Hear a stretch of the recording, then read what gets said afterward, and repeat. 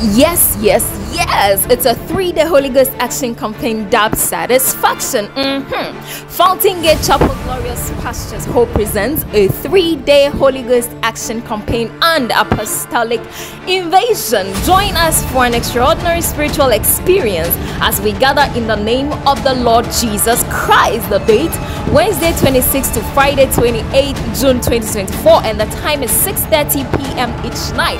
But on Friday 28 June 2024, there's going to be an all night service which starts at 8 p.m.